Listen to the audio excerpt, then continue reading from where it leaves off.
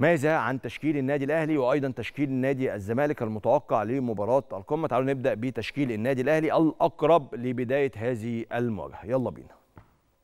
الأهلي هيبدأ المواجهة بمحمد الشناوي في حراسة المرمى علي معلول وياسر إبراهيم ومحمد عبد المنعم ومحمد هاني في خط الدفاع مروان عطية في وسط الملعب ومعاه محمد فخري وأحمد القندوسي ومحمد فخري وأحمد القندوسي ممكن يبقى واحد منهم بره ويلعب محمد مجدي قفشة. بيرسي تاو وحسين الشحات وكهربا ثلاثي هجومي معتاد. وأليو ديانج لو جاهز هيبقى موجود برضو في التشكيلة الأساسية. ده تشكيلة النادي الأهلي المتوقع. أما تشكيلة نادي الزمالك المتوقعة ففيها كالتالي محمد صبحي في حراسة المرمى حسام عبد المجيد ومصطفى الزناري وحمزة المسلوسي وحاتم سكر في خط الدفاع مع أحمد فتوح وأشرف روعة وعمر جابر. وإبراهيم رضاي وسيف الجزيري وزيزو هذه هي التشكيلة المتوقعة أيضا لنادي الزمالك لمباراة القمة. طيب اللي بيحصل بقى في نادي الزمالك ليلة القمة ما قبل القمة ما قبل قمة الأهلي والزمالك ما قبل الديربي إيه اللي بيحصل إيه الكواليس تعال أقول لك. يلا بينا.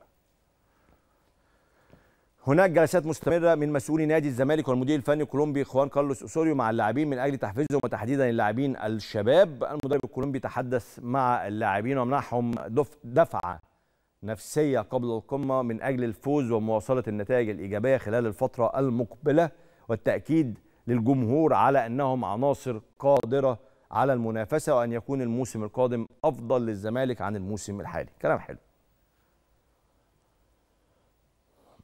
المدرب فتح ملف توقيع إمام عاشور للنادي الأهلي مع اللاعبين طلبهم بالتركيز مع طلبهم بعدم التركيز مع الأمر أو الحديث معهم من قريب أو بعيد بعدما لاحظ أن هناك حالة من الغضب لدى اللاعبين الكبار من الأمر. كان هناك محاولات خلال الساعات الأخيرة أن يكون دونجا موجود في قائمة المباراة ولكن اللاعب ما زال يعاني من إصابة في العضلة الخلفية ويستمر أو مستمر في التأهيل. هناك حيرة تسيطر على أوسوريو في مركز رأس الحربة. يبدأ المباراة بسيف الجزيري الاعتماد على سرعته أو الدفع من ناصر منسي بسبب قوته في ضربات الرأس. ووارد جدا أنه يلعب بالاثنين بالمناسبة من بداية المباراة.